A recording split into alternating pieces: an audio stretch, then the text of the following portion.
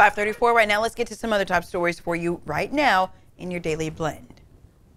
Speed freak killers case. Sheriff's deputies in San Joaquin County say they found a bone in a well and it could be connected to an infamous cold case. Wesley Shermantine and Loren Herzog were convicted in 2001 of several murders. They were dubbed the Speed Freak Killers because of their drug use. Back in 2012, authorities made a similar discovery human bones deep inside a well tied to that case.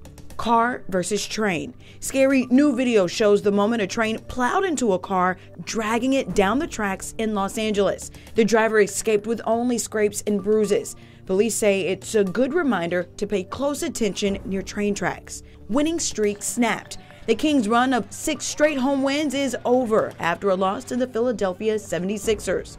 De'Aaron Fox led the team in scoring with 23 points. They play in Portland against the Trailblazers tomorrow night.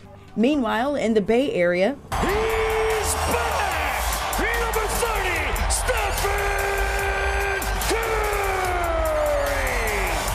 after missing 58 games with a broken hand, Steph Curry returned to action. He scored 23 points in 27 minutes, but the Warriors lost to the Raptors.